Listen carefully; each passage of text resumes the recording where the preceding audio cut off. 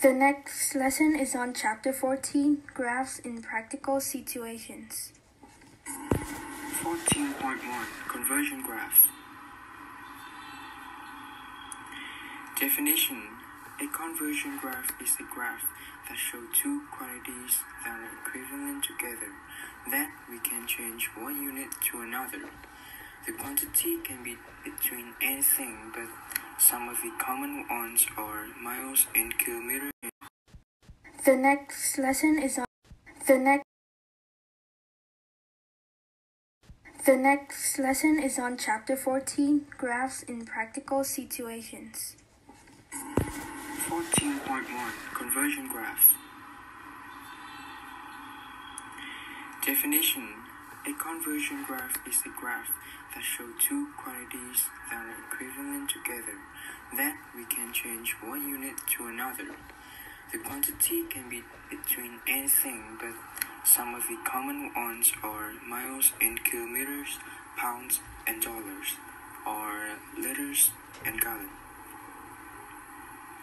Example uh, Look at the graph. How many pins are in 2.2 liters? The answer is 3.8 pins because 3.8 pins are approximately equivalent to 2.2 liters. Same with how many liters are in 5.3 pins? 3 liters because, well, 3 liters are approximately equivalent to 5.3 pins. Lastly, approximately how many pins are equivalent to 1 liters? Simple, just take 5.3 divided by 3 and we got 1.8 pins.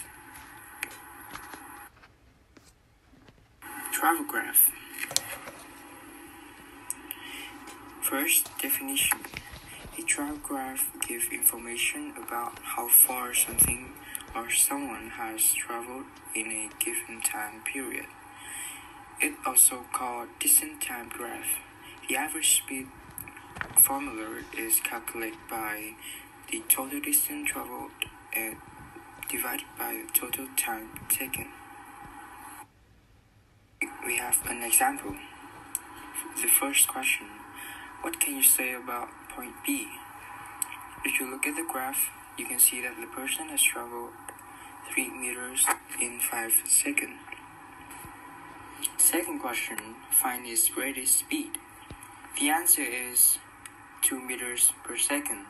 To do this, first spot the steepest slope, then calculate the distance traveled and divide it by the time taken. Lastly, find his average speed during the whole journey. Just take 12 divided by 14 and you got 0.9 meters per second. Rather than distance time graph, you also have speed time graphs. In a speed time graph, a horizontal line shows that the object is moving at a constant speed. A straight line going up shows the constant acceleration of the object, and if it goes down, it's the constant deceleration of the object. The area between the line and the x-axis gives the distance traveled. Below is a picture of a distance time graph being converted to a speed time graph. From a straight line going up, it turns into a horizontal line, showing that the object is moving at a constant speed. We have another example. The speed time graph shows a car accelerating for 40 seconds and then decelerating. As shown in the graph, the maximum speed of the car is 20 meters per second. The initial acceleration is calculated by the final speed minus the initial speed and then over a period of time. It is 0.5 meters per second squared. The deceleration for the second part of the journey is 0 minus 20 over 20 is minus 1 meter per second squared.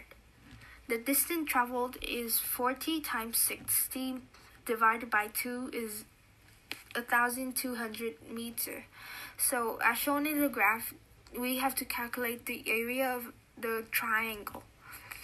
The average speed of the whole journey is 1200 divided by 60 is 20 meters per second. Last but not least, curve graphs. So to find the speed at a point in the curve distance time graph, You have to draw a tangent to the line at the point.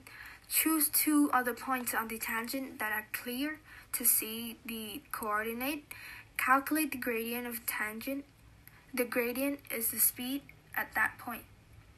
You have to remember because this value is found by drawing a tangent on the graph, it will be an approximate answer because a tangent is not specific. For a speed time graph that is a curve, you can find the acceleration in a similar way. So we have an example for it. You have to draw a tangent and then take two points on it.